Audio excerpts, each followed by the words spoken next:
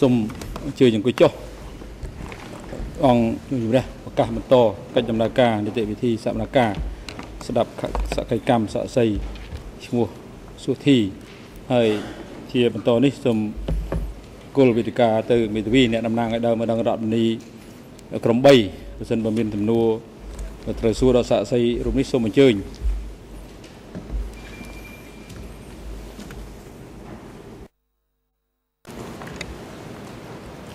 សូមគោរពលោកប្រធានសូមគោរពលោកលោកស្រីចៅក្រមជំរាបសួរលោកសុធីខ្ញុំបាទ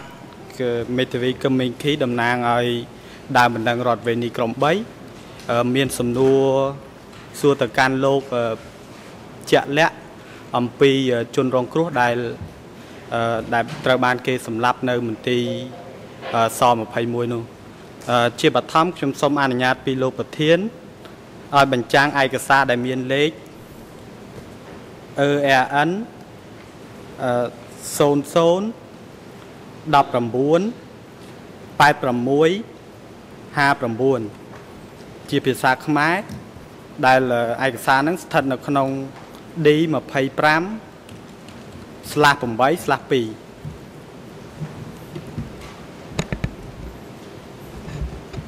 មន្ត្រីផ្នែកខាងសទោះអឺ ចាត់ការដាក់បញ្ចាំងនៅឯកសារដែលមានអឺលេខ AN និងលេខ D ដោយតាមសំណើសុំរបស់មេធាវីអ្នកតំណាងឲ្យដើមម្ដងរដ្ឋមន្ត្រីក្រម3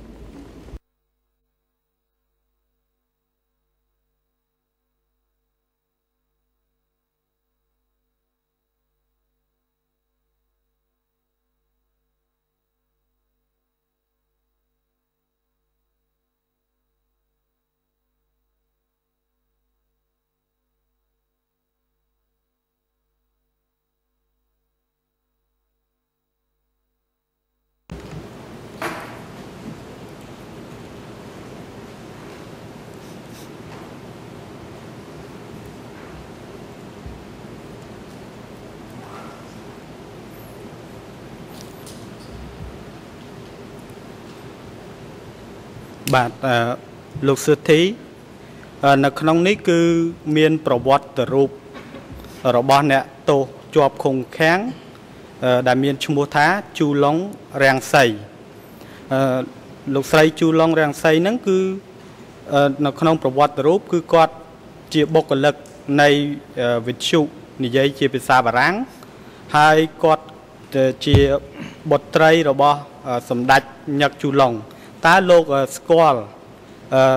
ប្រវត្តិរូបរបស់អ្នកទោសនេះដែរឬទេ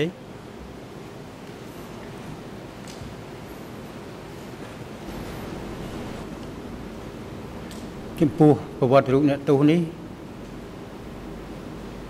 ខ្ញុំចាំមិនច្បាស់ទេហើយអក្សរនេះក៏មិនមានជាអក្សរខ្ញុំដែរ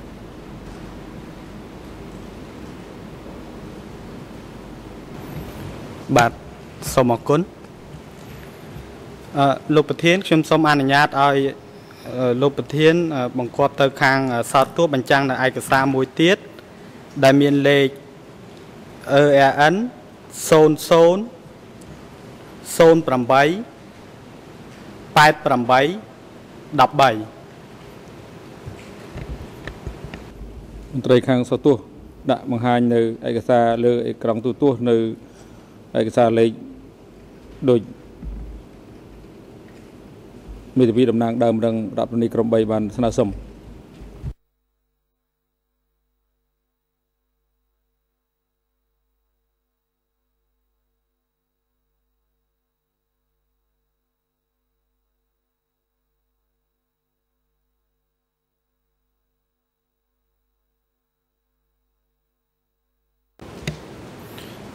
លោកសុធី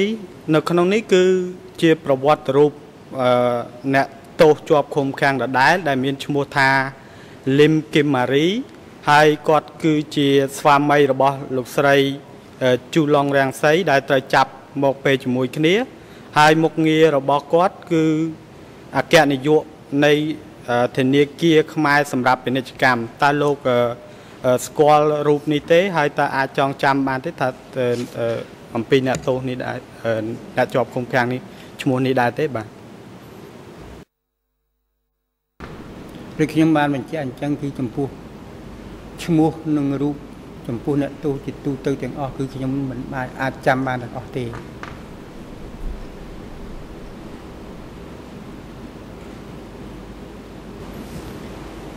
សូមអរគុណ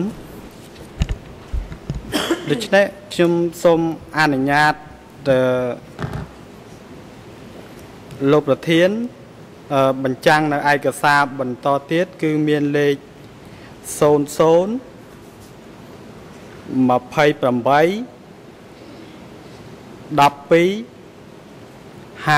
54ត្រីសោទស្សបញ្ចាំងនៅឯកសារនៅលើអេក្រងទូទស្សន៍តាមសំណើសុំរបស់ មេធាវីតំណាងដើមម្ដងរដ្ឋមន្ត្រីក្រម3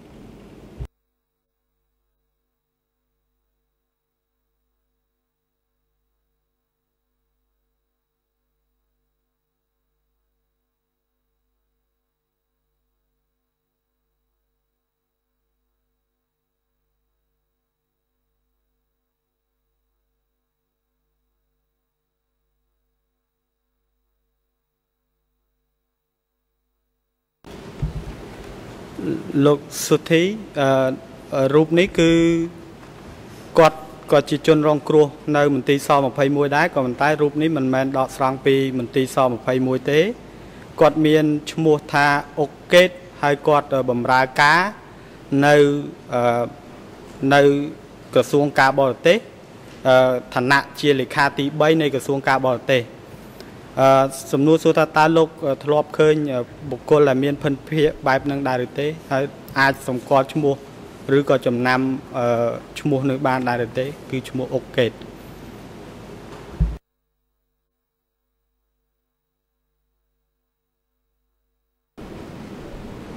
ដូចខ្ញុំបានបញ្ជាក់អញ្ចឹងគឺថាចំពោះអ្នកទោសមកគឺខ្ញុំមិនអាចចំណាំបានទេពីព្រោះការធ្វើការនោះគឺវា ម្នាក់ឯងឲ្យអត់មានចាប់អារម្មណ៍រឿងអ្នកទោសណាឈ្មោះណាមុខយ៉ាងម៉េចអីមិនទេគឺធ្វើយ៉ាងម៉េចឲ្យទាន់តែសភាពការទេដូច្នេះការនេះគឺខ្ញុំអត់បានចាំច្បាស់ទេ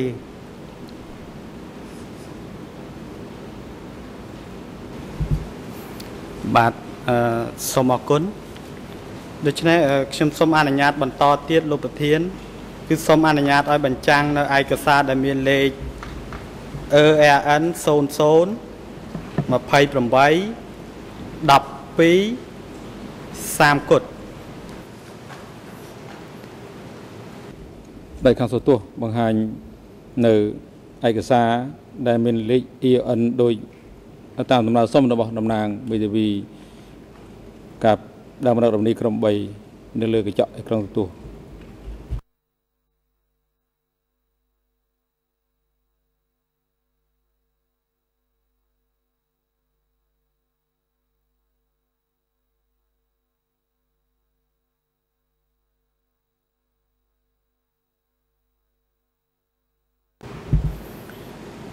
លោកសុធីគឺនេះគឺជាឯកសារដដែលពាក់ព័ន្ធទៅនឹងអឺអឺលោកអុកអឺលោកអុកកេត គឺគេដាក់ចំណងជើងថាឈ្មោះអ្នកទោសកំតិចថ្ងៃទី9ខែ12ឆ្នាំ77លេខរៀងរបស់លោកអុកកេត គឺនៅលេខរៀងទី33អឺសំទោសគឺ43ហើយអឺ នៅក្នុងនោះគឺមានអាយុ31ឆ្នាំមកពីក្រសួងការបរទេសលេខាហើយនេតិរបស់គាត់គឺលេខាទី3ស្ថានទូតហើយថ្ងៃខែកំតិចនោះគឺមានដាក់នៅក្នុងនឹងហើយអឺសំណួររបស់ខ្ញុំសួរថាតើឯកសារនេះគឺលោកជាអ្នករៀបចំឬក៏ខាងអង្គភាពអឺផ្សេងទៀតជាអ្នករៀបចំបាទ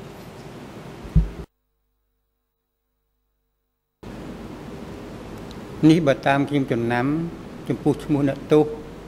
ដែលខ្ញុំរៀបចំកំភ្លេចនេះគឺអានេះឯកសារនេះមិនមែនជារបស់ខ្ញុំទេពីព្រោះឯកសាររបស់ខ្ញុំអត់មានដាក់ថ្ងៃចូលខាងខាងក្រៅទៀតទេអានេះបែបខាងក្រុមមេងនោះគេធ្វើក៏មិនដឹងទេអអឺនេះអឺបើតាមខ្ញុំចំណាំចំពោះឈ្មោះអ្នកទោសដែលខ្ញុំរៀបចំកំភ្លេចនេះគឺអានេះឯកសារនេះមិនមែនជារបស់ខ្ញុំទេពីព្រោះឯកសាររបស់ខ្ញុំអត់មានដាក់ថ្ងៃចូលខាងខាងក្រៅទៀតទេអានេះបែបខាងក្រុមមេងនោះគេធ្វើក៏មិនដឹងទេ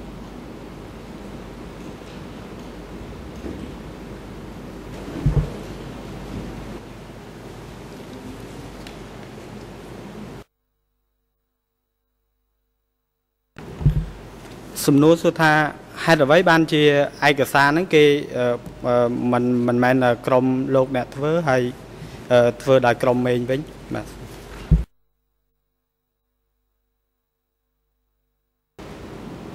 ចំពោះឯកសារដែលខ្ញុំធ្វើគឺធ្វើលំនាំទៅតាមនឹងទាំងអស់ប៉ុន្តែចំពោះចុងក្រោយអាចុងខាងអាបន្ទាប់ពីនីតិមានថ្ងៃចូលហ្នឹងគឺអត់មានដាក់ដាក់អី អត់មានទៅសេថ្ងៃថ្ងៃចូលចូលក្នុងហ្នឹងឯង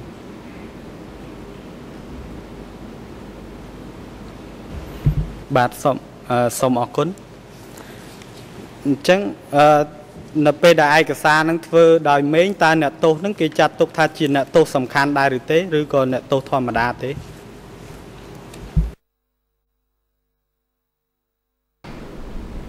អ្នកទោស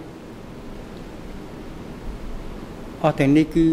មិនសំខាន់ទេគេថាជាអ្នកទោសធម្មតាទេបាទសូមអរគុណអឺខ្ញុំសូមអនុញ្ញាតពីលោកប្រធាន ដើម្បីបញ្ចាំងនៅឯកសារមួយទៀតដែលមានលេខ00 28 12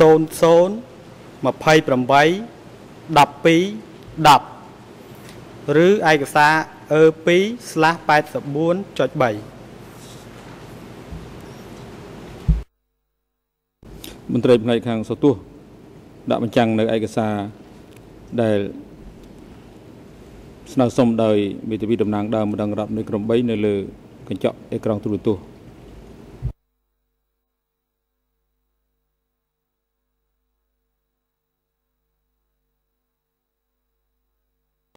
សុំសុំខិតចុះក្រោមបន្តិចបាទឯកសារនេះគឺ ពាក់ព័ន្ធទៅនឹងអ្នកទោសផ្នែករដ្ឋការនៅក្នុងរបបសង្គមចាស់ហើយដែលមានលេខនៅក្នុងនោះគឺលេខរៀងទី37គឺឈ្មោះ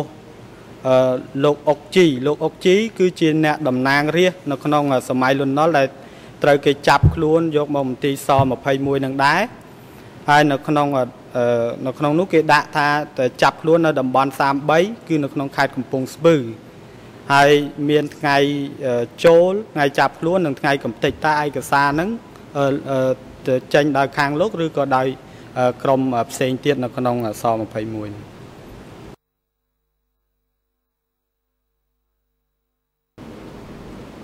ចំពោះឯកសារនេះគឺ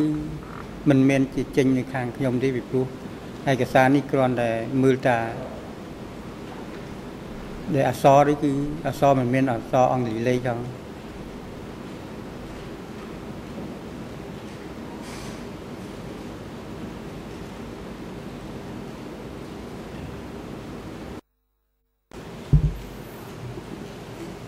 តើលោកអាចបញ្ជាក់បានទេតើតើឯកសារហ្នឹងគឺអង្គភាពណាអ្នកចេញហើយគេយកទម្រង់យ៉ាងម៉េចបានជាមានដាក់ចំណងជើង ដាក់ថ្ងៃចាប់ខ្លួននិងថ្ងៃកំតិចហ្នឹងតើលោកអាចបញ្យល់បានទេតើគោលបំណងនៅក្នុងការធ្វើឯកសារហ្នឹងគឺដើម្បីអ្វី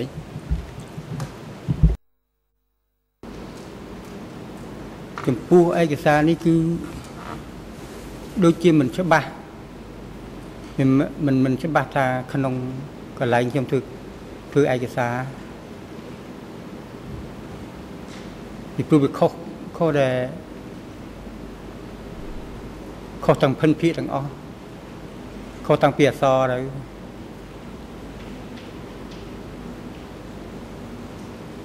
ហើយឯកសារនេះវាតាមមើលដូចបោះ ដូចជាវាយពុំរងពុំយ៉ាងដូច្នេះខ្ញុំមិនអាចសន្និដ្ឋានបានច្បាស់លាស់ចេញពីខាងណា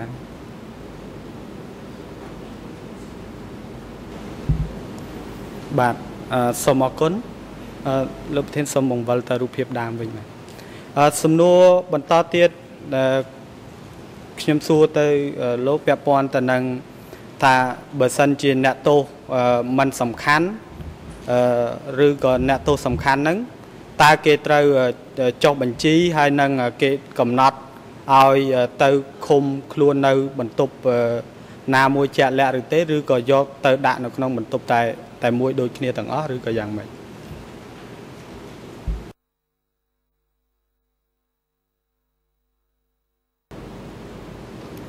ចំពោះអ្នកទោសជាទូទៅ គឺមុនដំបូងគឺបើបន្ទប់តូចជំនេរគេដាក់ក្នុងបន្ទប់តូចទាំងអស់ប៉ុន្តែបើបន្ទប់តូចពេញគេយកឡើងលើប៉ុន្តែដល់ពេលគេយកទៅសួរចម្លើយគេអាចដកអ្នកណាដែលចេញយកមកដាក់ក្នុងបន្ទប់តូចយកទៅឡើងលើវិញ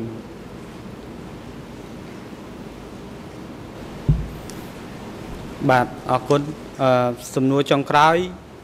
សួរទៅកាន់លោក គឺថាចាប់តាំងពីអឺការចូលបំរើនៅក្នុងមន្ទីរស21ចាប់ពីពេលចាប់ផ្ដើមរហូតដល់អឺស21ត្រូវបានអឺរំលាយដោយកងទ័ពវៀតណាមតើលោកមានដែលប្រព្រឹត្តកំហុសឬក៏ទទួលរងទណ្ឌកម្មដោយសារការធ្វេសប្រហែសឬក៏ខុសអ្វីដែរឬទេនៅក្នុងអឺការអនុវត្តអឺមុខងាររបស់លោកនៅក្នុងសម័យនោះបាទសូមអរគុណ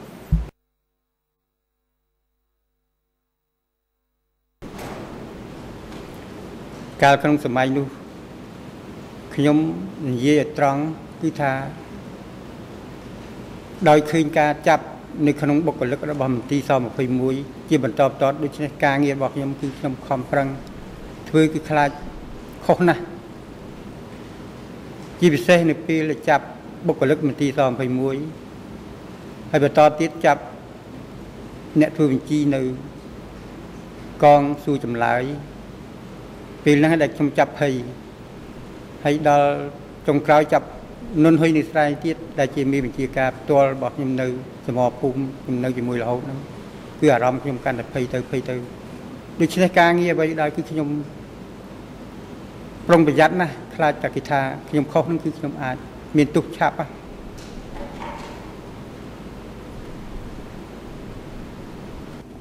ជាតទៅនេះ គោលវិទ្យាទៅមេធាវីអ្នកតំណាងដើមរងរដ្ឋនៃក្រុម2សូមអញ្ជើញបាទចាប់ផ្ដើមពីម៉ោង1 50នាទី ក្រុមនេះមានពេលវេលា15នាទី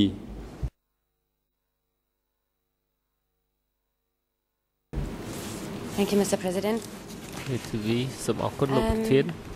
Good afternoon, Mr. អឺ Suste. សូមជម្រាបសួរលោកសុ Hi, my ធី name is Zilke Stutzinski and ខ្ញុំ I'm ឈ្មោះសុគិ lawyer ស៊ូ for ស្ទូ the សិន civil ស្គី party ខ្ញុំ for ជា victims. មេធាវីតំ I would ណាង like to ឲ្យ put ដើមបណ្ដឹង some រដ្ឋវិនី questions to you. ខ្ញុំនឹងសួរសំណួរមួយចំនួនទៅលោក First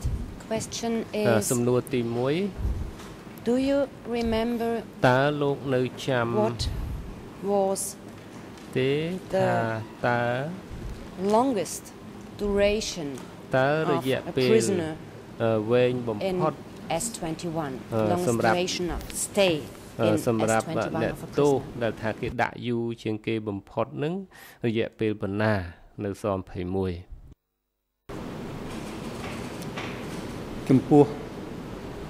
រឿងនេះគឺថាខ្ញុំមិនអាចដឹងច្បាស់ដែលពិតប្រកបទេប៉ុន្តែចំពោះដែលខ្ញុំសន្និដ្ឋាន អ្នកទោសយូរបំផុត ត្រឹម2ខែអស់ហើយ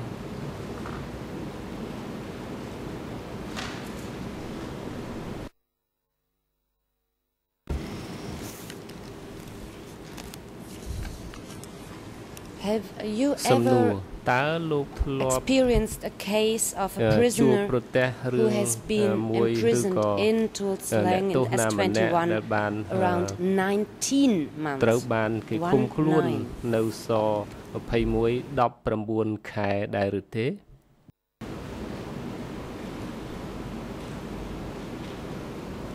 ចំពោះអ្នកទោសដែលគេឃុំខ្លួននៅស21 19ខែគឺខ្ញុំចាំមិនច្បាស់ទេប៉ុន្តែដូចជាខ្ញុំសន្និដ្ឋានដូចជាអត់មានប៉ុន្តែខ្លាចក្រែងលោកដែល អ្នកធ្វើការខាងក្រៅក៏មិនដឹងឬក៏អីតែខ្ញុំមិនអាចសន្និដ្ឋានបានដូច្នេះខ្ញុំចាំមិនច្បាស់ទេ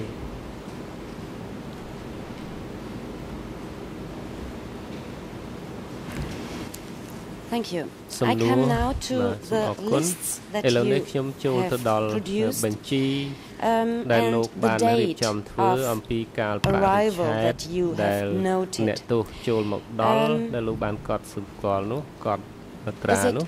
right to say តើ that ត្រឹមត្រូវ as ទេ you did ដែល not ខ្ញុំ want និ to យាយ make ថា any mistake លោក that ធ្វើការមិនឲ្យមានកំ the ហុស date that you have ហើយ noted កាលបរិច្ឆេទ was ដែលលោកកត់នោះ accurate គឺត្រឹមត្រូវទាំងអស់ the តែអ date ញ្ចឹង of the arrival បាទគឺថ្ងៃខែឆ្នាំដែលអ្នកទោសចូលនោះតើអញ្ចឹងឬទេ ចំពោះថ្ងៃខែឆ្នាំដែលអ្នកទោសចូលនោះគឺខ្ញុំកត់ត្រឹមត្រូវទៅតាមថ្ងៃដែលចូល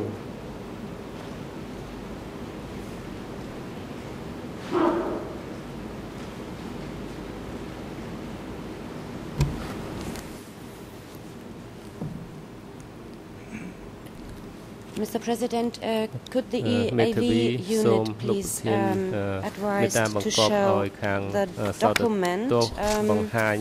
អឺឯកសារ with the ដែលមាន ERN លេខ ERN the ERN number 00188853នៅលើកញ្ចក់អឺទូរទស្សន៍ This បាទ was already មន្ត្រី សទោះបង្ហាញឯកសារដែលមានលេខ UN 00188853នៅលើកញ្ចក់អេក្រង់ទូរទស្សន៍តាមសំណើសុំរបស់មេធាវីអ្នកតំណាងដើមម្ដងរដ្ឋនៃក្រុម2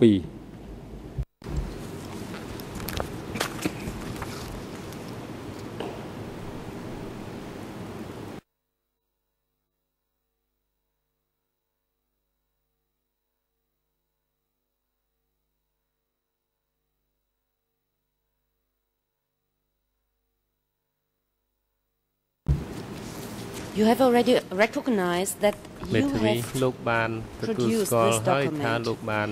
អឺរៀបចំឯកសារនេះ if you look on បើសិនជា the លោក list and the arrival on 12th of មើល December បញ្ជី 1976 អឺ and អ្នក there ទោសចូល under ថ្ងៃទី number 12ខែ 9 12ឆ្នាំ uh, we find 1976 a នៅលេ building ខទី H04 and a cell 18 could you please អឺលោក uh, អឺ describe មើល what ឃើញ kind of ថា cell តើ uh, this លោកអាចរៀបរាប់ was? ទេថាតើអឺនៅក្នុងច4ហ្នឹងច04ហ្នឹងតើអាគារហ្នឹងបន្ទប់ហ្នឹងអឺដូចម្ដេចដែរ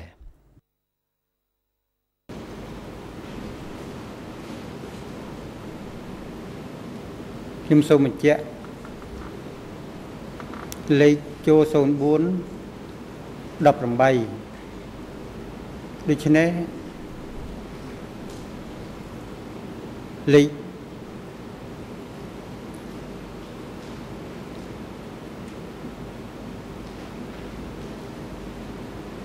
មិនមែនលេខចូលអានឹងដូចលេខផយតាមមើលវាចូលអញ្ចឹងចូលប៉ុន្តែខ្ញុំភ្លេចអស់ហើយរឿងអានេះអានេះលេខផ្ទះលេខបន្ទប់ទេលេខបើចង់បញ្ជាក់គឺថាខ្ញុំចង់បញ្ជាក់ថានឹងហើយជាលេខផ្ទះលេខបន្ទប់ហើយប៉ុន្តែដល់វាយូរពេកខ្ញុំវាភ្លេចមិនបានអាចចង់ចាំបាន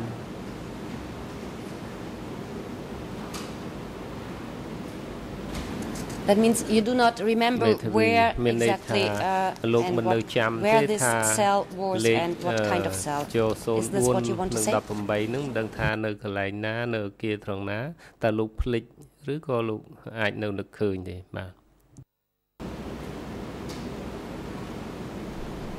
ខ្ញុំសូមបញ្ជាក់ដោយត្រង់ដូចភ្លេចពីនឹកមិនឃើញពីព្រោះក៏04 វាមានបន្ទប់តូចបន្ទប់ធំនិងអាគារដូច្នេះដល់មកឃើញឥឡូវហ្នឹងគឺខ្ញុំវាមិនអាចចែកនឹងបន្ទប់តូចលេខ04ឬក៏ចូលហ្នឹងក៏លេខប្រហែលគឺខ្ញុំពិបាកសន្និដ្ឋានពីព្រោះខ្ញុំភ្លេចទៅអាហ្នឹងអាហ្នឹងប៉ុន្តែជាការកំណត់គឺគឺលេខផ្ទះលេខបន្ទប់ហើយហ្នឹង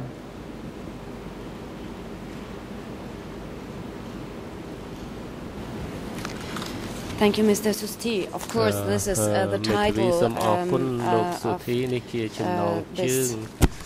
uh, indicators. នៃ អេ អ្នកទោសម្នាក់ត្រ Do ង់លេ you ខ9នេះ remember the Tớ uh, lúc nào biography chăm of thế uh, ông Mr. thì, Pung Thon that អឺប្រ the វត្តិរូប prosecutor របស់លោក had អឺ already ផឹងតុន shown to ដែល you? សហភាពញ្ញាបាន Remember this, ប្រាប់ទៅ uh, លោកបង្ហាញ biography? ទៅលោកហើយអំពីអឺប្រវត្តិរូបរបស់គាត់នោះតើលោកនៅចាំទេ ដោយខ្ញុំបានបញ្ជាក់ជូនពីមុនមកហើយពីព្រោះការធ្វើបញ្ជីនេះគឺធ្វើម្នាក់ឯងគឺធ្វើយ៉ាងម៉េចឲ្យតែហើយដើម្បីធ្វើទៅមុខទៅទៀតដូច្នេះការចងចាំរបស់ខ្ញុំគឺព្រះអត់បានច្បាស់លាស់ទេអត់បានដឹងទេគឺគឺគឺធ្វើថ្ងៃហ្នឹងគឺឲ្យតាន់ហើយចប់ទុកម្លែកឯងធ្វើទៀតធ្វើអ្នកបន្តបន្តមកទៀតដូច្នេះគឺខ្ញុំមិនបានជាចាប់អារម្មណ៍ឲ្យបានច្បាស់លាស់ Sorry, I think you did not អឺ understand the មេធាវី question. ខ្ញុំ Then I គិត would ថាលោក like មិន to តាន់ ask យល់ uh, សំ the ណួរទេអញ្ចឹ President ង to សូម put ឲ្យ again on អឺ the, លោកប្រធានសួរ the uh, to advise the អឺ AV សូម to ឲ្យ put again អឺ on បង្កប់ the ខាង screen AV the document អឺ with តាំង the ឯក number សារនឹងឯកសារលេខ 00188857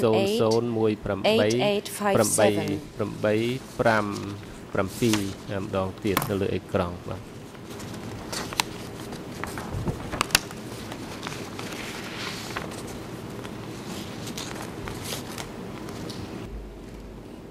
មេធាវីអានលេខ EON ម្ដងទៀតឯកសារដែលប៉ុនប៉ងសុំឲ្យដាក់បង្ហាញលើកញ្ចក់ឲ្យត្រង់ទូរទស្សន៍ហ្នឹងឯកសារលេខ EON យ៉ាងដូចម្ដេច Yes, of course. អឺ This សូម is, អរគុណ uh, លោក the ប្រធាន ERN ERN លេខ00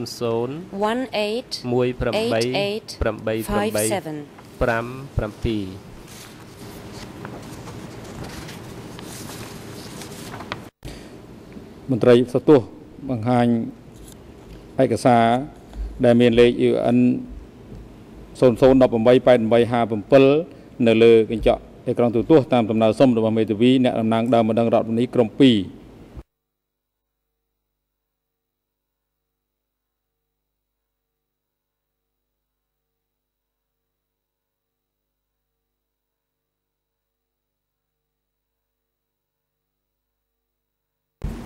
Thank you. Um, Mr. Uh, Susti, please uh, look at this uh, biography that you have already recognized that you have produced this biography. could the AV scroll a little bit down? And um, there you find at the end um, the room, as far as I understand, where the prisoner Mr. Pung Thun was sent to. Is this right? I can read here room 3, hall 3, house 1. Is this where the detention took place? Or as it seems to be the arrest? Or what does it mean? Could you explain this part? គាត់តើវាមានន័យយ៉ាងម៉េចនៅពេលដែលដាក់លេខដូចនេះនេះតើលោកអាចជួយបញ្យល់ទេនេះគឺជាកន្លែងឃុំរបស់គាត់ហើយគឺផ្ទះមួយបន្ទប់ធំ3តូច3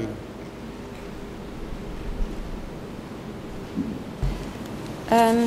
did you Maybe produce we- this Hello. ជា biography អ្នករៀបចំ on the ប្រវ same ត្តិរូបនេះ at the same occasion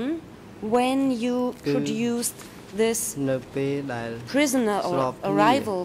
list that I have shown you before? បានន័យថាលោកបង្ The កើត arrival list for the ប្រវត្តិរូបនេះ 12th of December រួមគ្នាទៅនឹង 1976. បញ្ជីអ្នក Were ទោសដែល these ចូលមកដល់ both ថ្ងៃ12 documents ឆ្នាំ produced 76 when នឹង Mr. ឬយ៉ាងម៉េច Pungton បានន័យថាឯកសារមួយហ្នឹងហើយនឹងឯកសារអំបញ្ញមុនមុននោះ arrived គឺ in បាន your រៀបចំ office? នៅពេលតែមួយនៅពេលដែលលោកផឹងតុនបានចូលមកដល់ការិយាល័យ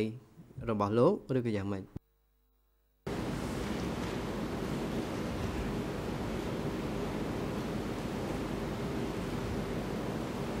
អានេះចំពោះ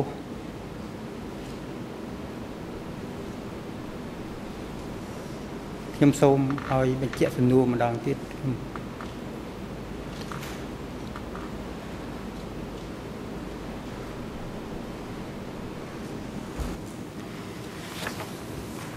I will do so. មានទេវីខ្ញុំនឹងបញ្ជាក់ជូនលោក You see this លោក biography បានពិនិត្យឃើញប្រវត្តិរូបមួយនេះ and I hope you ហើយ remember ខ្ញុំ the សង្ឃឹមថា prisoner លោក list ចាំ that I អំ have ពី shown បញ្ you ជី before អ្នកទោសដែលខ្ញុំបានបញ្ចាំងជូ about ន the លោកអំបញ្ញ prisoners មិ who ញ arrived on 12th No. of December គឺអ្នក 76. ទោសដែលបានចូលនៅ And ថ្ងៃ my ទី question 12 is ខែ now, 12ឆ្នាំ76ដូច្នេះនៅ Were ពេលនេះ these, ខ្ញុំចង់សួរ the, ថា these documents ថាតើឯ the កសារ biography and the ទាំង prisoner ពីរនេះ list គឺប្រវ Were ត្តិរូប they មួយនេះ produced និងបញ្ together? ជីអ្នកទោសនោះតើវាបានរៀបចំនៅថ្ងៃតែមួយរួមគ្នាតែម្ដងឬក៏យ៉ាងម៉េច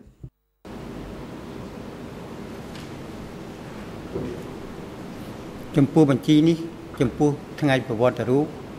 ហើយនឹងបញ្ជីចូលនោះគឺចំពោះបញ្ជីប្រវត្តិរូបនេះគេធ្វើពេលអ្នកទោសចូលមកដល់ភ្លាមប៉ុន្តែអានឹងគឺក្រោយពីបន្ទាប់ពីការយើងកត់អាបញ្ជីវែងនោះទេអាបញ្ជីវែងដែលជាវ័យជានោះគឺបានបានកត់ចូលថានេះធ្វើបន្ទាប់ពីថ្ងៃហ្នឹង មកបានយើងមានពីលបានយើងចាប់ចូលសរសេរក្នុងប្រវត្តិរូបនេះ I uh, observed that ពេល uh, ទៅវិញខ្ញុំ the សង្កេតឃើញថា cell where the prisoners, the បន្ទប់ prisoner um, has been ដែល or was គេយក detained អ្នកទោសនេះទៅឃុ are ំ different in both បន្ទប់នោះ documents, គឺ in the យើងឃើញ biography ថា and សរសេរ in ខុសគ្នានៅក្នុង the prisoner list. ឯក Could សា you រពីរ explain ផ្សេងគ្នា why ហ្នឹងគឺ these នៅក្នុងប្រវត្តិរូប cells are different? ហើយនឹងបញ្ជីហ្នឹងគឺមានលេខបន្ទប់ខុសគ្នាតើលោកអាចជួយបញ្យល់ទេថាហេតុអ្វីបានជាខុសគ្នាអញ្ចឹងខ្ញុំសូមបញ្ជាក់ចំពោះបន្ទប់ខុសគ្នានេះអាស្រ័យទៅលើការ ដូរដេញរបស់ដែលអ្នកកងការពារនៅខាងក្នុងទេបើសិនជាកន្លែងណាដែលគេដូរឬគឺគេប្រាប់ឲ្យដូរបន្ទប់ដូច្នេះខ្ញុំត្រូវតែដូរលេខបន្ទប់ទៅតាមដែលគេប្រាប់មកពីក្នុង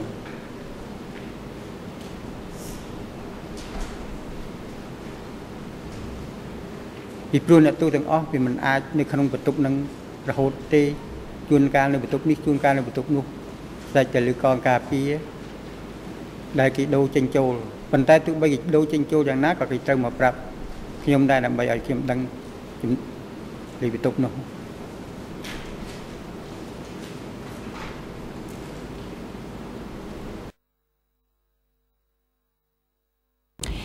Um, I see that my time is running out. Um, however, I would like to inform the Chamber that I wanted and intended to put before this witness um, the document number D25-5-7 and with uh, the question to the witness if he acknowledged this list and the number document number D25-5-5 um, and the number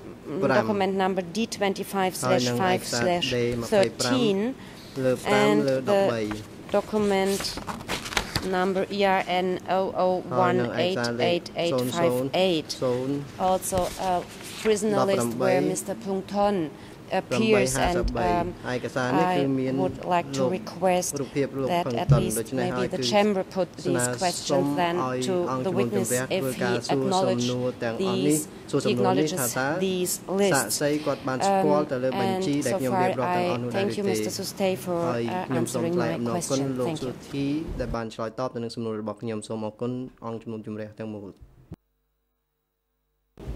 អរគុណអង្គជំនុំជម្រះទាំងមូលឃើញមេធាវីអ្នកតំណាងដើមម្ដងដំនេះក្រុម1បាទចាប់ផ្ដើមមីពីម៉ោង2 6នាទី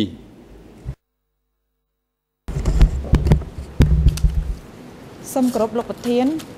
លោកលោកស្រីចៅក្រមនិងអង្គសំណាក់ការទាំងមូលជំរាបសួរលោកអឺ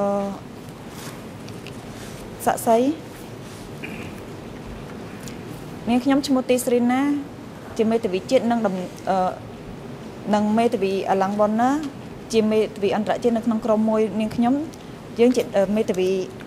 តំណាងឲ្យដំណឹងរដ្ឋវិនីក្រុមមួយសូមតាំងសំណួរដូចតទៅមុននឹងខ្ញុំធ្វើតាការតាំងសំណួរខ្ញុំសូមអឺធ្វើការបញ្ជាក់ដែលទល់នឹងហើយឯកសារមួយ ដែលលោកបានឆ្លើយនៅក្នុងដំណាក់កាលចក្រមស៊ើបអង្កេតកាលពីថ្ងៃទី 18ខែតុលាឆ្នាំ2007ដែលមានលេខអឺ D22/9 និងលេខ EON ជាភាសាខ្មែរមានលេខ00 16 26 06និង EON ជាភាសាអង់គ្លេសមានលេខ00 16 26 21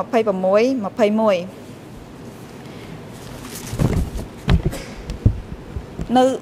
នៅពេលហ្នឹងអឺ មានមន្ត្រីតុលាការបានសួរលោកថាគាត់នៅរស់ទេឡាញ់ឡាន់លោកក៏បានឆ្លើយថាអត់ដឹងអត់ដឹងពួកនឹងពួកអមលៀងដូចគេយកមកកាលហ្នឹងគេចាប់703ចិត្តអស់ហើយ បានដូចគេយកពីខាងអមលាំងមកវិញតើលោកពិតជាបានអឺនិយាយអញ្ចឹង មែនទេលោកមានបានឆ្លើយចំណុចហ្នឹងទៅអឺការិយាល័យសហប្រញ្ញាអឺសហចក្រមអង្កេតដែរឬទេ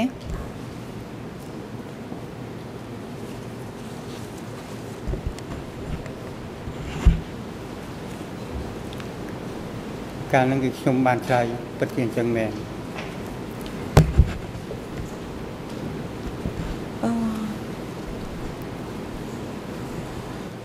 តើលោកមានបានដឹងថាហេតុអីបានជាគេចាប់កង703ចិត្តអស់តើមូលហេតុអីតើលោកមានបានដឹងទេ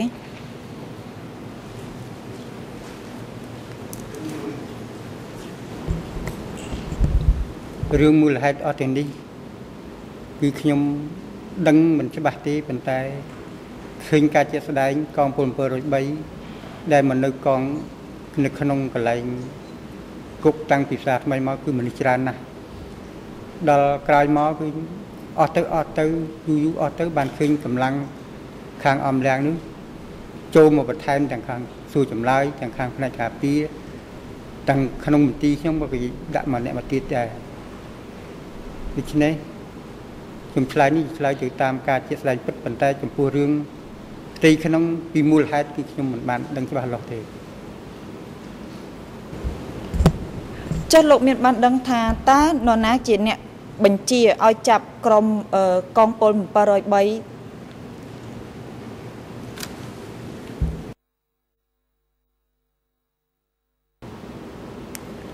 អ្នកដែលមានសិទ្ធិដើម្បីចាប់មនុស្សគឺមានតែថ្នាក់ដូចទេដែលមានសិទ្ធិសម្រាប់ក្រៅពីនឹងគឺគ្មានសិទ្ធិទេ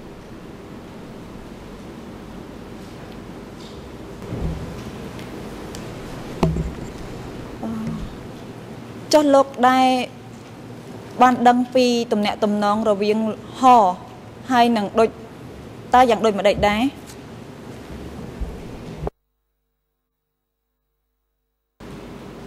ការទំនាក់ទំនងរវាងហោនិងដេចដែលនេះគឺខ្ញុំមិនបានដឹងច្បាស់ទេប៉ុន្តែបើតាមសភាពជាក់ស្ដែង ដែលខ្ញុំឃើញ គឺហោនោះខ្លាចដេចជាងអ្វីទាំងអស់កុំ ឲ្យតែលីសូននីសាហាវគឺទោះបីនៅកន្លែងណាគឺត្រូវតែរូបចាស់បញ្ញត្តិដែរគឺខ្លាចណាស់អានេះខ្ញុំឃើញការជាក់ស្ដែងប៉ុន្តែ ចំពោះការទំនាក់ទំនងយ៉ាងម៉េចគឺខ្ញុំមិនដឹងទេតើបុគ្គលិកមន្ទីរស21ទាំងអស់សុទ្ធតែខ្លាចដូចដូចដូចហដែរឬមួយក៏តករណីហទេដែលខ្លាចដូចនឹងតែម្នាក់ឯង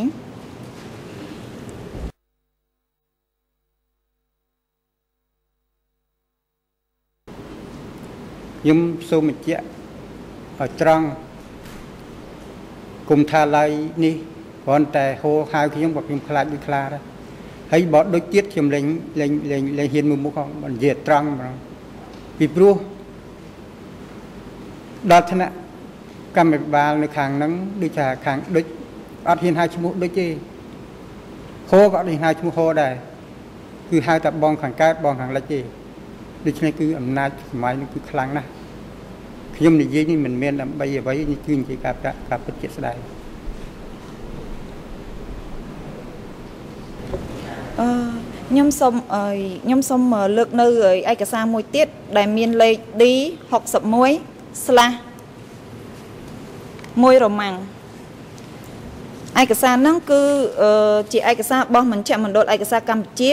ដែលលោកបានធ្វើកិច្ចសម្ភាសកាលពីថ្ងៃទី20ខែតុលាឆ្នាំ2004នៅត្រង់ទំព័រដែលមានលេខ EON ជាភាសាខ្មែរ0052 028និង EON ជាភាសាអង់អង់គ្លេសដែលមានលេខ0033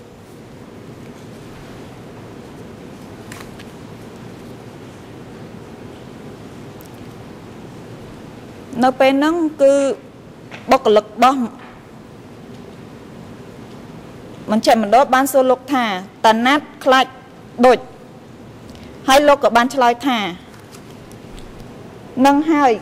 ក៏ខ្លាចដូចដែរគាត់ថ្នាក់កងពលមិនធម្មតាទេ ហើយខ្លាចដូចខ្ញុំគ្រាន់តែឃើញអតចរិតដែលនេះអីទេហើយហនេះខ្លាចតាណាតជាង អីទៀតព្រោះអ្នកកងពលអ្នកវរៈសេនាតូច វាទួនាទីវាខុសគ្នាឆ្ងាយណាស់ព្រោះគេអ្នកកងពលគេមានសិទ្ធដកគេមានសិទ្ធអីទាំងមកចប់ហើយទម្រាំតែតាណាតចង់ខ្លាចតែដូចទៀតហើយមិនដឹងយើងមួយថ្ងៃមួយថ្ងៃបនកុំឲ្យតែតាហោ ខ្ញុំនិយាយត្រង់កុំឲ្យតែលឺសូគាត់ហៅទេ ចេះតែខំធ្វើធ្វើទៅខ្លាចតែហៅមានការអីទេតើលោកពិតជាបាននិយាយបែបហ្នឹងប្រាប់ទៅបុគ្គលិកមជ្ឈមណ្ឌលឯកសារកម្ពុជាដែរឬទេខ្ញុំសូមបញ្ជាក់សារជាថ្មីចំពោះតណាតនិងតាដិចគឺខ្ញុំមិនបានដឹងច្បាស់ពិតប្រាកដទេការនិយាយនោះ ប៉ុន្តែបើនិយាយចំពោះខនឹងដិចគឺពិតប្រាកដមែនគឺថាហោគឺខ្លាចដិចមែនតែនហើយចំពោះថ្នាក់ក្រោមគឺខាងលើគឺខ្លាចណាស់ខ្លាចតែគេហៅទៅគឺខ្លាចមានការអីមានការអីហ្នឹងគឺខ្លាចណាស់គ្រាន់ឃើញមុខគេមិនចង់ហ៊ានជប់មុខផងមើលមុខគេអត់ហ៊ានមើលមុខផង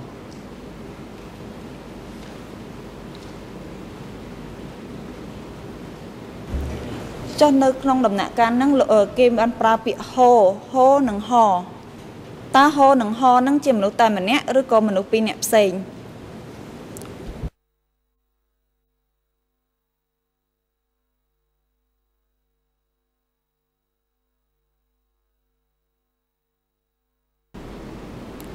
អត់មានឈ្មោះខទេគឺមានតែឈ្មោះខ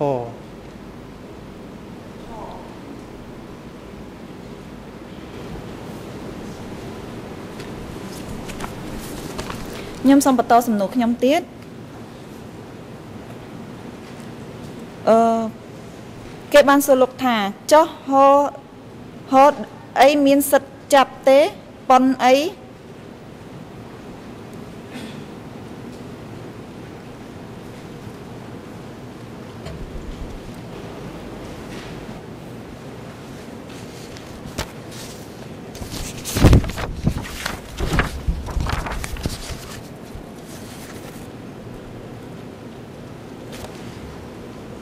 ដោយសារតែសំណួរដែលខ្ញុំមកមកលើកអំបញ្ញមិញនេះលោកបានឆ្លើយហើយហើយអញ្ចឹងខ្ញុំសូមបន្តសំណួរមួយទៀត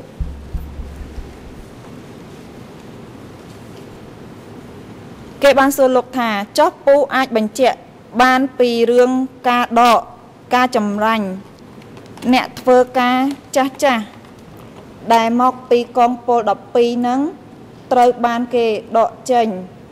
ទៅពេលក្រោយមកទៀត អានឹងវាដោយសារមូលហេតុអីពូបានដឹងទេពូបានលោកបានឆ្លើយថាខ្ញុំវាមិនបានដឹងច្បាស់លាស់ទេព្រោះអានឹងវាពិបាកណាស់ព្រោះអានេះវាផ្សេងគ្នា អានេះបើតាមពិតទៅឧបមាថា អ្នកទោសរត់រួចត្រូវចាប់យុទ្ធជនការពារនៅនឹងហើយហើយ ដល់ពេលវាយគ្នាឈឺទៅចេះតែឆ្លើយឆ្លើយទៅចេះតែចាប់អានេះថាវាពិបាករឿងនេះ វារកយុត្តិធម៌អត់ឃើញ ហើយដល់នេះចេះតែចាប់អញ្ចឹងពិបាកណាស់អានេះខ្ញុំនិយាយមែនចេះតែនិយាយមិនមែនចេះតែនិយាយទេនិយាយទៅតាមការដែលខ្ញុំដឹងតើលោកពិតជាបាននិយាយបែបនេះមែនទេ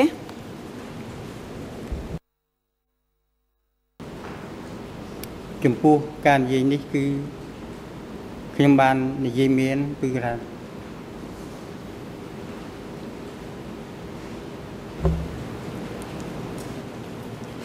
តើ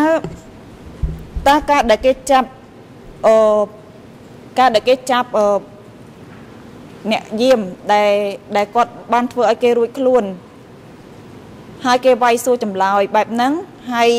អ្នកដែលគេឆ្លើយដាក់ហ្នឹងត្រូវបានគេចាប់ តើករណីហ្នឹងមានកើតមានចំពោះអឺអ្នកទោសទូទៅឬមួយក៏កើតមានចំពោះតែអ្នកដែលជាបុគ្គលិកមន្ទីរស21ដែលគាត់មានការឆ្លោះឆ្លួយបែបនេះសូមលោកជួយបំភ្លឺ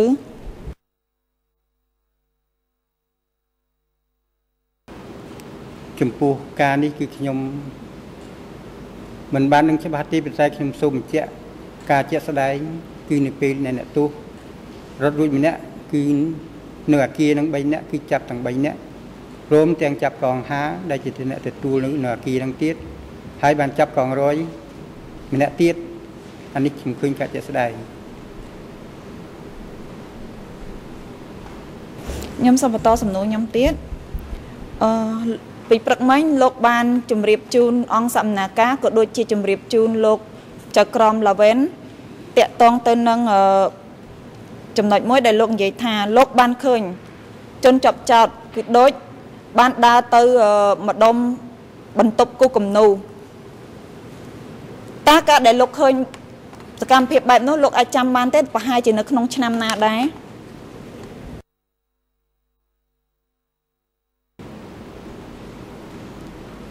ការដែលគាត់ទៅកន្លែងហ្នឹងគឺគាត់ច្រើនទៅនេះគឺការនិយាយពីការចាំចងចាំរឿងឆ្នាំរឿងអីគឺខ្ញុំមិនបានជាចាំឥឡូវនេះ ចុះលោកចុះលោកអាចចាំបានទេថាពេលដែលលោកឃើញគាត់នៅក្នុងស្ថានភាពពេលនោះពេលដែលលោកឃើញគាត់នៅក្នុងស្ថានភាពពេលនោះតើគាត់អីអត្តចរិតរបស់គាត់យ៉ាងម៉េចដែរគឺខ្ញុំចង់សម្ដៅថាតើគាត់មានភាពរីករាយធម្មតាឬមួយក៏គាត់មានភាពភ័យខ្លាចឬក៏ព្រួយបារម្ភអ្វីមួយបានជាគាត់ទៅក្នុងបន្ទប់នោះតើលោកអាចចងចាំចំណុចនេះបានទេសូមលោកជួយបំភ្លឺ ខ្ញុំសូមបញ្ជាក់ចំពោះ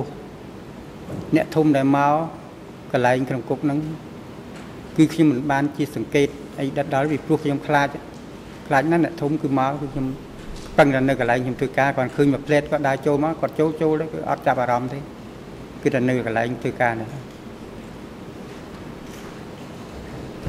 អញ្ចឹងខ្ញុំសូមបន្តសំណួរខ្ញុំទៀតតកតងទៅនឹងអឺពេលដែល អ្នកទោសនៅមន្ទីរស21ត្រូវបានបញ្ជូនទៅកំទេចអស់ពេលហ្នឹងគឺអឺបុគ្គលិកមន្ទីរស21សុទ្ធតែមានសុទ្ធតែនៅទំនេរទាំងអស់អញ្ចឹងនៅក្នុងកំឡុងពេលដែលនៅទំនេរហ្នឹងតើថ្នាក់លើមានដែរប្រាប់ដល់បុគ្គលិកទាំងអស់ថាឲ្យត្រៀមលក្ខណៈអ្វីដែរឬទេឬមួយក៏បានប្រាប់ថាឲ្យត្រឡប់ទៅផ្ទះវិញឬមួយក៏បានប្រាប់ថាឲ្យត្រៀមលក្ខណៈទទួលអ្នកទោសថ្មីតើលោក អាចចងចាំចំណុចនេះបានដែរឬទេ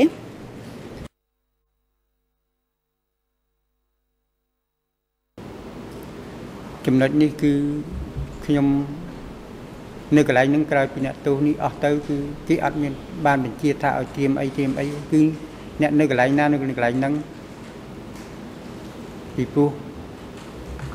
ការងារដែលយើងធ្វើអីគឺនៅកន្លែងណាកន្លែងហ្នឹងការពារដឹងការពារអ្នកថតដឹងអ្នកថតហើយគឺអត់មាន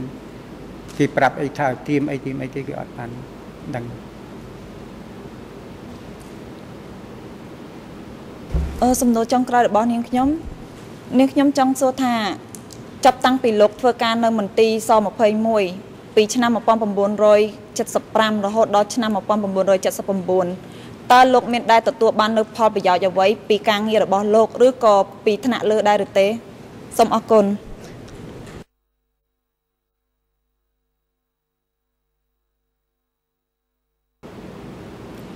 ខ្ញុំសូមបញ្ជាក់ចាប់តាំងពីខ្ញុំ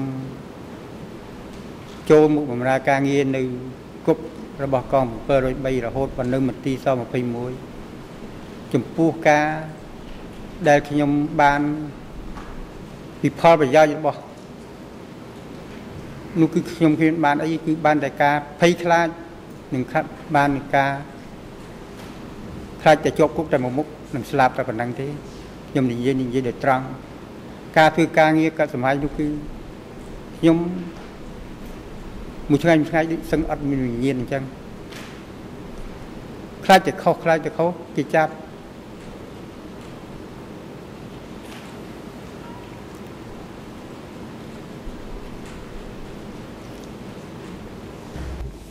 អត់ជាកិច្ចបន្តនេះអង្គជំរះ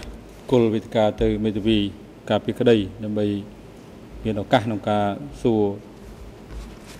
តាំងសំណួរដល់សាក់សីរំនេះប្រសិនបើមានសូមអញ្ជើញមេធាវីមេធាវីមានរយៈពេល60នាទីក្នុងការសួរនេះ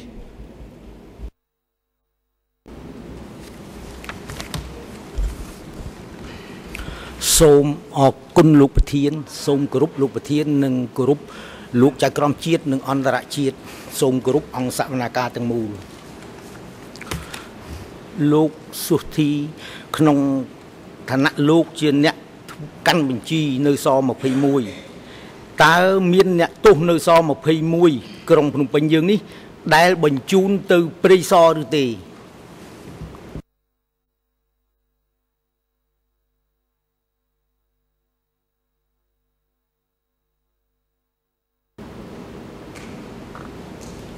ចំពោះមន្ទីរស21អ្នកទោសដែលនៅក្នុងមន្ទីរស21 គឺមិនដែលបញ្ជូនអ្នកទោសទៅខ្សែទេឲ្យតែចូលក្នុងគុកហើយគឺអត់មានបញ្ជូនទៅខ្សែទេប៉ុន្តែខ្ញុំសូមបញ្ជាក់បើសិនអានេះការងារហ្នឹងគឺខ្ញុំមិនដឹងក្រៃលោនអ្នកគេបញ្ជូនមកខាងក្រៅហើយបានគេបញ្ជូនទៅខាងរីសតខ្ញុំមិនដឹងច្បាស់ទេប៉ុន្តែចំពោះអ្នកទោសដែលតែចូលក្នុងគុកហើយគឺគ្មានបញ្ជូនទៅណាទៀតទេសូមអរគុណ នៅស21លោកបានជម្រាបអង្គសវនាការថាគ្មានពេទ្យជាស្រីទេអញ្ចឹងមែនទេ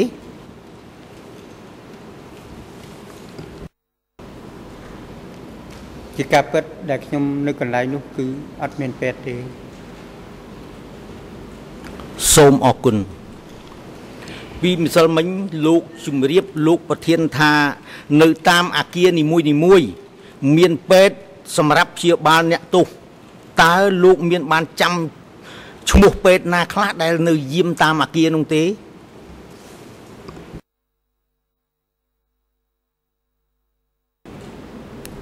ខ្ញុំសូមបញ្ជាក់ចំពោះពេទ្យកាលពីពីមុនខ្ញុំដឹងច្បាស់មិននេះទេប៉ុន្តែខ្ញុំចាំច្បាស់តែ2នាក់ដែលខ្ញុំចាំឈ្មោះប៉ុន្តែពីមុនគឺមានដល់4នាក់ ប៉ុន្តែខ្ញុំចាំច្បាស់តែ2នាក់គឺពេទ្យតិននិងពេទ្យត្រីហើយ2នាក់គឺនោះទៀតគឺខ្ញុំភ្លេចឈ្មោះទៅសូមអរគុណល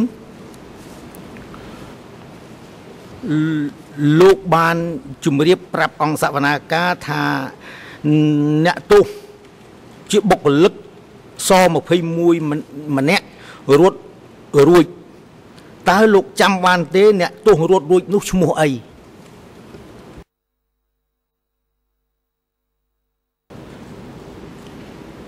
ខ្ញុំចាំបានគឺអ្នកទោសរត់រួចនោះដែលជាបុគ្គលិកមន្ទីរស21គឺឈ្មោះចយសូមអរគុណតើស21មានផ្ញើរូបថតទៅគ្រប់មូលដ្ឋាន ដើម្បីចាប់អ្នកទោសនោះមកវិញឬទេ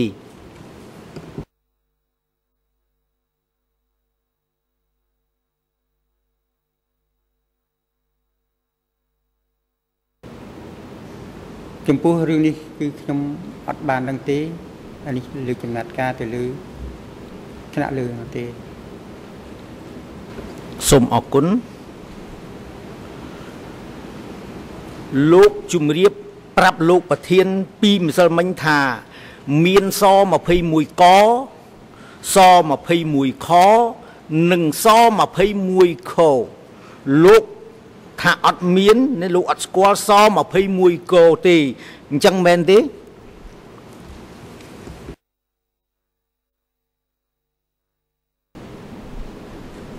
អានេះ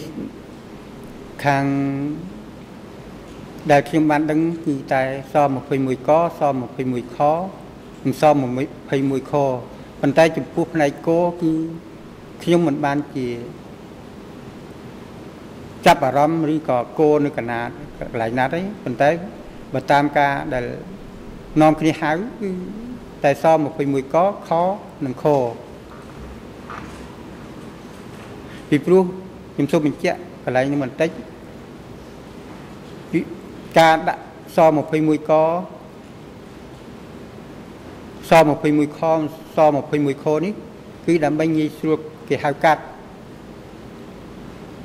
កុំឲ្យថាស21កនកងសួរចម្លើយយើងឥឡូវតែសួរស21កកខាងសងកងសួរចម្លើយគេហៅកាត់21កទៅដើម្បីងាយយល់ហើយ21ខគេហៅកាត់ជំនួសកងការពារទៅហើយខគេជំនួសខាងស្រែទៅសូមអរគុណសូមអនុញ្ញាតពីលោកប្រធាន ដើម្បីសួរជួនជាប់ចោត ថាតើមានស21កឬទេនេះតើបើមានតើស21កមានទីតាំងនៅត្រង់ណា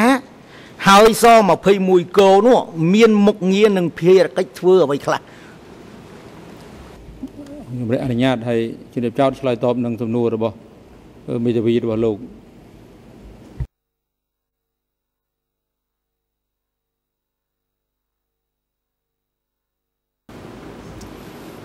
ជំរាបប្រសាសន៍លោកប្រធាន ការដែលខាងលើឧទ្ទិសនាមមកមន្ទីរស21មានតែពាក្យថាមន្ទីរស21ទេឯចំណែកពាក្យថាមន្ទីរស21កមន្ទីរស21ខមន្ទីរស21កមន្ទីរស21ខកាលដែលយើងខ្ញុំនៅកាន់កាប់នៅទីនោះមិនចាប់អារម្មណ៍ដល់តលតែសោះទើបមកឃើញពាក្យអស់នេះ នៅក្នុងសម័យកាលសួរស៊ើបអង្កេតទន្ទឹមនេះក៏សង្កេតឃើញពាក្យប្លែកទៀតដែរគឺពាក្យ21ស22ស23និងស24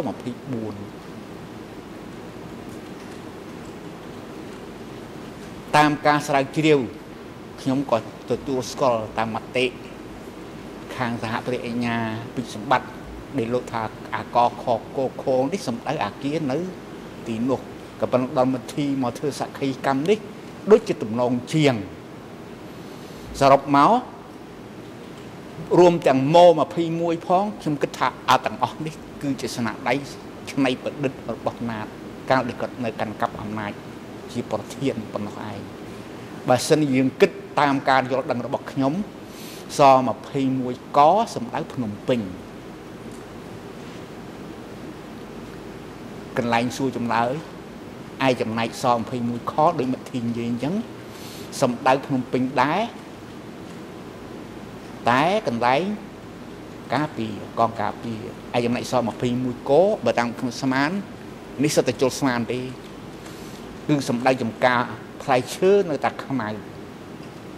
មានស21ហ្នឹងវាជាទទួលគេតម្លៃពី703មកកន្លែងចំការផ្លែឈើនៅតាខ្មៅមួយកន្លែង ឯចំណែកស21កឬ24នេះគឺពិតជាស្រែមិនហុយនឹងហើយគ្មានប្រែទេក៏ប៉ុន្តែស្រមបញ្ជាក់សរុបឡើងវិញខាងលើទទួលស្គាល់ជាផ្លូវការទាំងអស់ហៅថាស21តាមមួយម៉ាត់គាត់នេះគឺខ្ញុំបញ្ជាក់ជូនប៉ុណ្ណេះ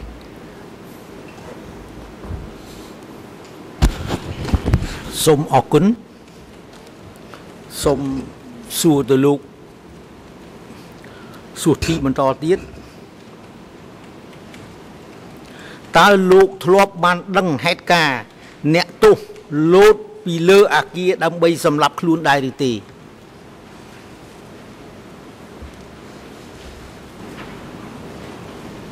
ចំពោះអ្នកទោសលោតពីលើអាគារគឺខ្ញុំមិនបានដឹងទេ ដោយមូលហេតុអីគឺខ្ញុំនៅកន្លែងទូបញ្ជីនេះ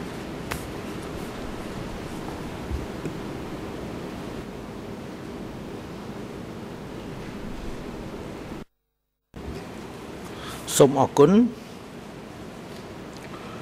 លោកថាលោកមិនដែលបានទទួលបញ្ជាផ្ទាល់ពីតាដូចទេអញ្ចឹងមែនទេ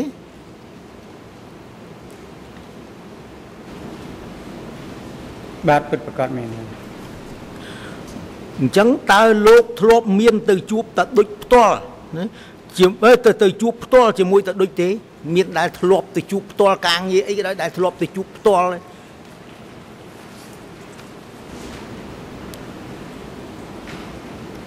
ការដែលខ្ញុំទៅជួបផ្ទាល់គឺខ្ញុំចងចាំមិនច្បាស់ទេប៉ុន្តែខ្ញុំមិនសូវមាន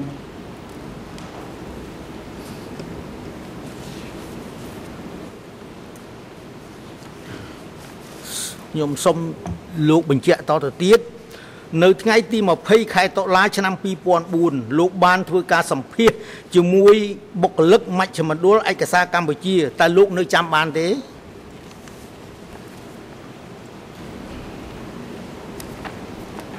នៅចាំបានខ្ញុំសូមអានចម្លើយតែមួយទេសួរទៅលោកអឺបុគ្គលិកមជ្ឈមណ្ឌលឯកសារកម្ពុជាឈ្មោះផាន់សុជីសួរថាចុះដូចដូចនឹងគាត់អ្នកគ្រប់គ្រងនៅនឹងអញ្ចឹងពូឧស្សាហ៍ជួបគាត់ទេ លោកឆ្លើយថាអត់ទេខ្ញុំនៅដាច់ដោយឡែកពីគ្នាព្រោះគេនោះគេលាក់ការ គ្រាន់តែកងការពារយើងអត់មានសិទ្ធិទៅសួរគេបានទេ មិនបាច់ដល់អ្នកសួរចម្លើយទេអត់មានសិទ្ធិទេ ទៅស៊ីបាយក៏ក្រុមដោយក្រុមដែរអត់មានទៅហូបបាយក្រុមនេះ ទៅហូបជាមួយក្រុមនោះបានទេនេះជាចម្លើយរបស់លោកតើលោកទទួលស្គាល់និងរក្សាចម្លើយនេះនៅដដែលឬទេសូមលោកឆ្លើយ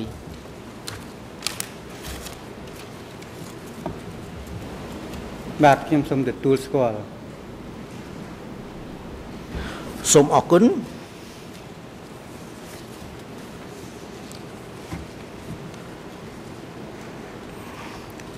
លោកបានបញ្ជាក់ជូនតុលាការថា មន្ទីរសេនាធិការ ជាអ្នកក្តាប់មន្ទីរស21ផ្ទាល់អញ្ចឹងមែនទេ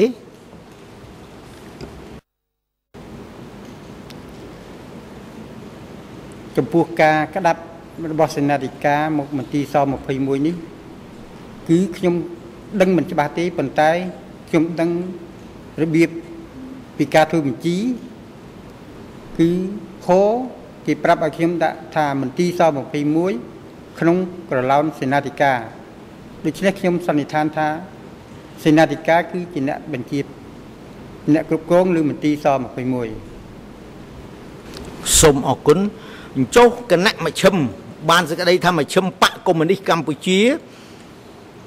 មានក្តាប់មន្ទីរស21ផ្ទាល់ដែរទេតើលោកមានដឹងទេចំពោះបញ្ហានេះ គឺខាងលើពោះគឺខ្ញុំមិនបានដឹងទេសូមអរគុណតើលោកដឹងទេ តើមានជនណាខ្លះដែលមានសិទ្ធិបញ្ជាពីលើតដូច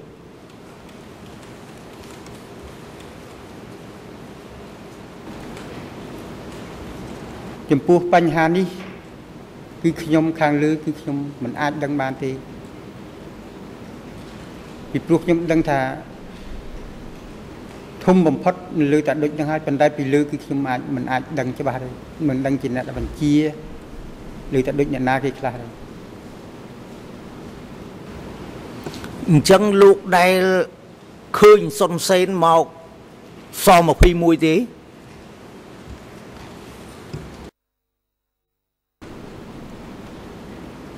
ខ្ញុំមិនចាំឆ្នាំមិនច្បាស់គឺដែលគេហៅអង្គភាពទាំងមូលយកទៅរៀនសូត្រនៅកន្លែងសាលាអប់រំនយោបាយហ្នឹងគេហៅអង្គភាពទាំងមូលទៅរៀនសូត្របានទៅឃើញ សុនសេននៅកន្លែងសាលានោះសូមអរគុណកាលពីព្រឹកមិញ លោកបានជម្រាប អង្គសវនាការថាលោកធ្វើការនៅស21នឹងប្រចាំការនៅកន្លែងការិយាល័យរបស់លោក24ម៉ោងលើ24ម៉ោងតើលោកបានដឹងពីហេតុការណ៍ដែលគេបានធ្វើទារុណកម្មទៅលើអ្នកទោស ដោយចងជើងព្យួរនិងខ្សែពូឡើងលើ ហើយជំមុជក្បាលចូលក្នុងទឹកពីងតើលោកមានដឹងព្រឹត្តិការណ៍នេះដែរឬទេ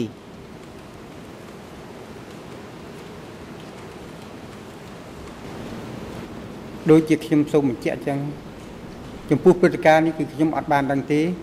ពីព្រោះខ្ញុំនៅកន្លែងធ្វើបញ្ជីនេះគឺនៅម្នាក់ឯងគឺនៅតែតែកន្លែងហ្នឹង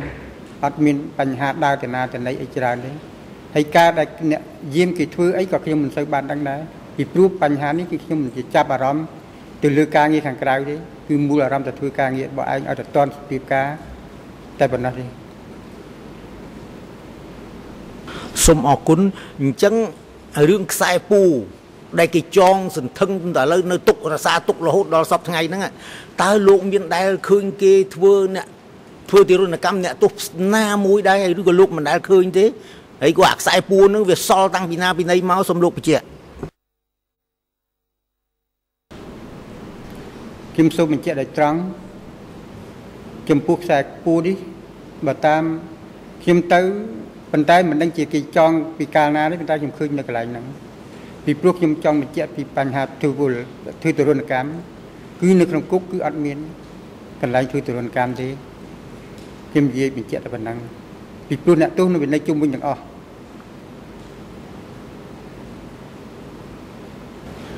អញ្ចឹងលោកអាចស្ម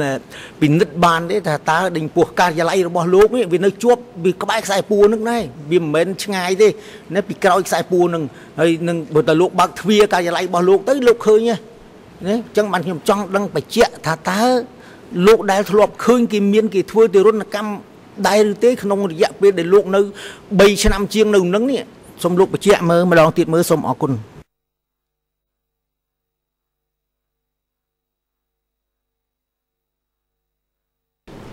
ដូចខ្ញុំសូមបានបញ្ជាក់អញ្ចឹងបើខ្ញុំបានឃើញគឺខ្ញុំនិយាយថាបានឃើញហើយបើសិនខ្ញុំមិនបានឃើញគឺខ្ញុំនិយាយថាមិនបានឃើញហើយសូមអរគុណ នៅស21ការចាប់បញ្ជូនមនុស្សចូលស21បើចាប់ប្តីឬក៏ចាប់ប្រពន្ធនោះប្រពន្ធឬប្តីនឹងត្រូវចាប់មកតាមក្រោយឬដំណើរគ្នាតើនេះជាការកត់សម្គាល់របស់លោកតើមែនអញ្ចឹងទេ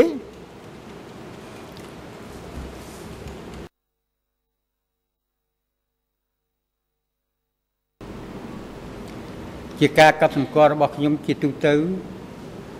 ដែលបញ្ជូនមកពីអង្គភាពឬមន្ទីរផ្សេងផ្សេងតែចាប់ប្តីមកហើយគឺប្រពន្ធមកជាមួយគ្នាហើយសូមអរគុណមុននេះលោកប្រាប់ទៅកញ្ញាមេធាវីទីស្រីណាថាអ្នកដែលមានសិទ្ធិសម្រេចឲ្យចាប់មនុស្សមានតែតែដូចទេ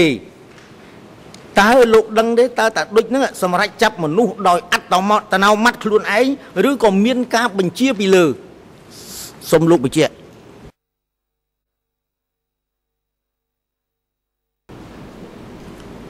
ចំពោះការងារអស់នេះគឺខ្ញុំមិនច្បាស់ទេប៉ុន្តែខ្ញុំដឹងថាក្នុងមន្ទីរស21នេះ គឺមានដូចនេះឈ្មោះខ្ពស់ជាងគេដូច្នេះ ការសម្រេចអ្វីគឺមានតែគាត់ទេដែលអាចសម្រេចបានហើយការបញ្ជាពីលើគឺខ្ញុំអត់បានដឹងទេសូមអរគុណអឺលោកធីមួយចំណែកធំនៃការងាររបស់លោក គឺត្រួតពិនិត្យឈ្មោះអ្នកទោសត្រូវយកទៅកំទេចដោយលោកជាអ្នកត្រួតពិនិត្យមុននឹងចេញដំណើរទៅកំទេចអញ្ចឹងមែនទេ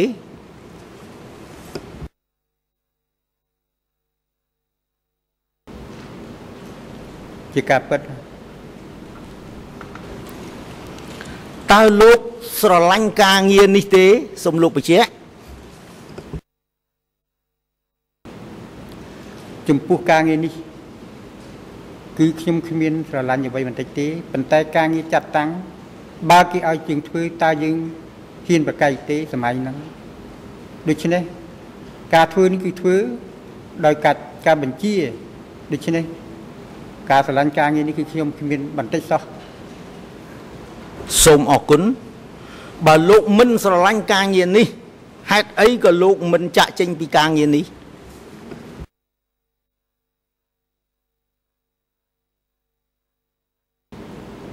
ខ្ញុំសូមបញ្ជាក់ចំពោះជាទូទៅថាមូលហេតុអីបានជាមិនស្រឡាញ់ការងារហើយមិញក៏ចាក់ចេញ ក្នុងសម័យនោះតើឲ្យខ្ញុំចាក់ចេញទៅកន្លែងណាបើសិនជាខ្ញុំបាត់តែ5នាទីគឺគេដឹងភ្លាមហើយសម័យនោះវាមានអត់មានផ្ទះមានប្រជាជនអីទេគឺគេមានតែសហករណ៍តើយើងរត់ទៅណារត់ទៅសហគមន៍ច្បាស់គេចាប់មកវិញយើងគ្មានផ្លូវដើរទៅណារួចទេដូច្នេះចេះតែទ្រាំទ្រាំទៅហើយបើរត់ទៅណាក៏កិច្ចមិនរួចដែរពីព្រោះ បញ្ហានេះយើងមិនដឹងថាយើងទៅនឹងទៅជ្រកកន្លែងណាជ្រកសហគមន៍សហគមន៍គេដឹងព្រាមជាចាប់បញ្ជូនមកវិញដែរហើយទៅអត់មានកន្លែងជ្រកសត្វ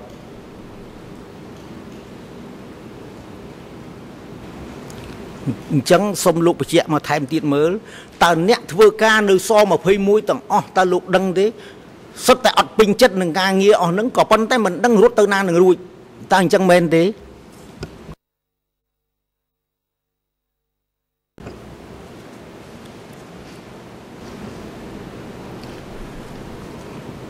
នៅក្នុងរបប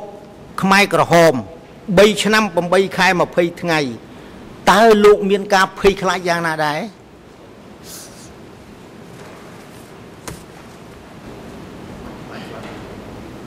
ក្នុងរបបខ្មែរក្រហម 3ឆ្នាំ8ខែ20ថ្ងៃគឺចាប់តាំងពីខ្ញុំមកនៅមន្ទីរស21ទួលស្លែងនេះគឺខ្ញុំមានអារម្មណ៍ផិតភ័យរហូតទល់បែកគឺដោយសារតែឃើញការចាប់មនុស្សនឹងហើយចាប់ហើយឃើញការជាក់ស្ដែងគឺតែចាប់ហើយគឺស្លាប់ហើយអញ្ជើញមេធាវីអឺឡើងវិញនៅលោកមេធាវីការពារក្តីសម្រាប់សិន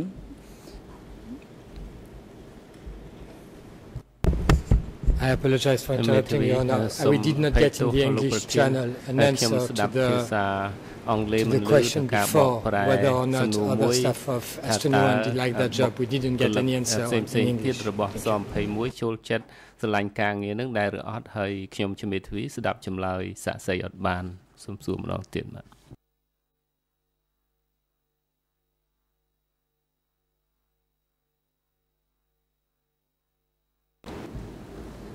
មេធាវីការពារសូមសួរទំនួលអំបញ្ញមិញដែលមេធាវីការពារដើមនៅនេះស្ដាប់មិនយល់ស្ដាប់មិនបានជាភាសាអង់គ្លេសលើចម្លើយរបស់អឺសាក់សីសូមសួរសំណួរអឺដែលមិនច្បាស់នេះអឺមួយសំណួរទៀតហើយអឺផ្អាកដើម្បីធ្វើការសម្រាប់ លោកសុធីសូមលោកបញ្ជាក់ឡើងវិញតើលោកក្តាប់បានទេបុគ្គលិកកម្មាភិបាលទាំងអស់នៅស21សុទ្ធតែជាអ្នកមិនពេញចិត្តនឹងរបបនោះអញ្ចឹងមែនទេ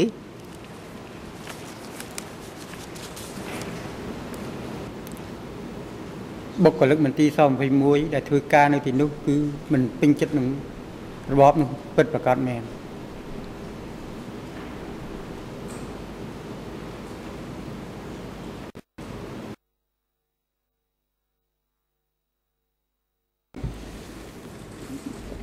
បន្តិចសិនចាំ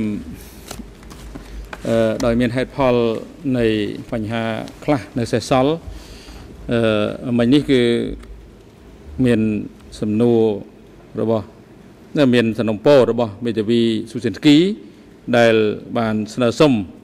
មកអង្គជំនុំជម្រះហើយតាមខ្ញុំអឺយល់ឃើញថាចម្លើយស្ដីសម្រាប់2កាលពីម្សិលមិញយើងបានសម្រេចរួចហើយប្រហែលជា មិនបានគ្រប់ដណ្ដប់ទៅលើសំណើនេះទេហើយដោយសារការប៉ុនប៉ងនៃការស្នើសុំរបស់មេធាវីស៊ូចិនស្គីមានភាពមិនទាន់ច្បាស់លាស់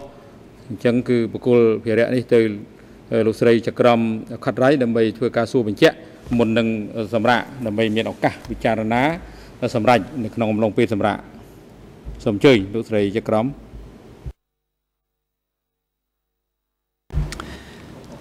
Thank you, Mr. President. អឺជាក្រុមខាត់រ៉ៃសូមអរគុណលោកប្រធាន simply to អឺ have some លោកស្រីមេធាវី clarification, ស្ទូសិនស្គី please. ខ្ញុំសូមឲ្យលោកស្រីបំភ្លឺ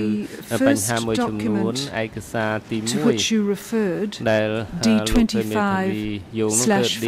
25 លើ slash 5លើ5 in 5នោះ the English នៅក្នុងអត្ថបទ is អ a ង់គ្លេស prisoner list តើបញ្ជីអឺ uh, អ្នក in ទោស which ឬ uh, អឺ the ជា name បញ្ជីដែលមានឈ្មោះ Suntari ដែលមាន appears. ឈ្មោះភូពុសុន However, in the French and Khmer versions of the same document, uh, at least in the uh, French and Khmer versions of the same document number, uh, the document appears to be a biography of the same gentleman. So for clarification purposes, which document do you refer to uh, before we give a decision, of course, on the uh, uh overall submission? Yes, thank you for your question. I uh, made um, the same observation that is different in different languages, and uh, the English document could be found in D25/5/12. Um, this seems to be the នេះ same អឺ um, វាហាក់ដូច prisoner ជានឹង list. អឺបញ្ជីអ្នកទោស However, នឹងជាក្រុម Do you ខាត់រ៉ៃ refer to ប៉ុន្ the តែ prisoner លោក list អឺ or to the ព្រះមេធាវី biography យោងទៅ or រក both? បញ្ជីអឺអ្នកទោស Uh, ឬ I ក៏ refer to the អឺ prisoner ប្រវត្តិ list, រូប um, ខ្ញុំយោងទៅរក and this បញ្ was ជី now the English អឺ document អ្នក and the ទោសនេះគឺជាឯកសារតែមួយ Mayor is ដែលថានៅក្នុងភាសាខ្មែរ um, the ERN លេខ ERN លេខ001888 01877 777 through ហើយរហូតទៅ 78. ដល់អឺ78នៅខាងចុង the second question អឺសំណួរ I ទី ask 2 is ដែលខ្ញុំសួរ your ទៅ intention អឺ in ស្រីមេធាវី making អំពី the គោលបំណង application. you will recall the decision yesterday that indicated that the trial chamber would not put unasked questions uh, at the request of civil parties. Of course, the trial chamber will retain a discretion in this regard, but certainly not as a matter of routine. Do you seek to have these documents before the chamber in order for the chamber uh, ultimately to decide what weight to place uh, on them?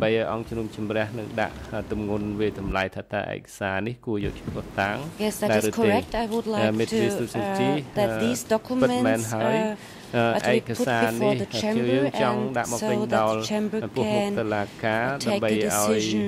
អង្គជំនុំ um, ជម្រះសម្រេច on it and Uh, use le- their discretion. អឺលើឯកសារនេះទៅតាមឆន្ទានុសិទ្ធិរបស់ខ្លួន នៅក្នុងរឿងក្តី Finally, ជាក្រុមខាត់ in រ៉ៃនៅទីបំផុតនោះ D25/5/5 លើ5នោះ Uh, there is a reference against uh, the name that you are concerned with. Uh, uh are you uh, asking that the chamber clarify that reference? You will recall in the execution date column that the date is, is given, but in some cases details ករ of ណី the um, ខ្លះគឺសេចក្តីអឺពឹស្ដា status of the um, of the ហើយ person នឹង concerned អឺ is ស្ថាន listed ភាពរបស់ instead. បុគ្គលដែលមានក្នុងបញ្ជីដែលលោកស្រីអឺបញ្ជាក់នោះមិនអឺ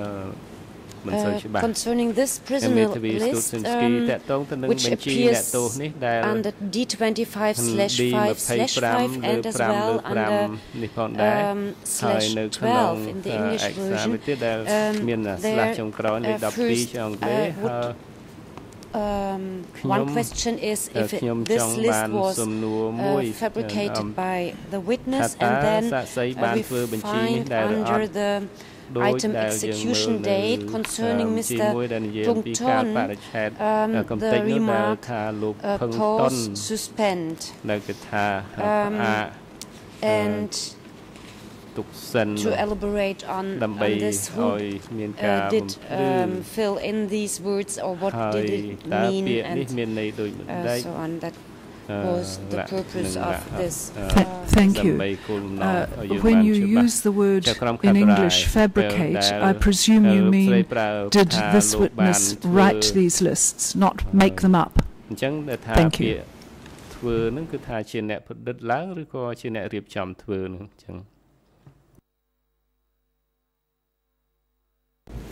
ឥឡូវដល់ពេលសម្រាប់សម្រាប់ប្រកាសសម្រាប់អឺ20នាទី ចចាប់ពីពេលនេះទៅទៅរហូតដល់ម៉ោងអឺ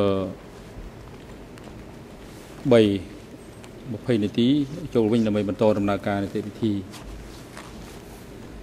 មន្ត្រីតុលាការសម្របសម្រួលដល់ផ្ដល់ទីកន្លែងសំរុំសម្រាប់សាក់សីសម្រាប់ឲ្យឲ្យនាំគាត់មកកាន់សាលដំណើរការតាមមុនម៉ោងបានមុនម៉ោងកំណត់សូមអញ្ជើញក្រោយចូល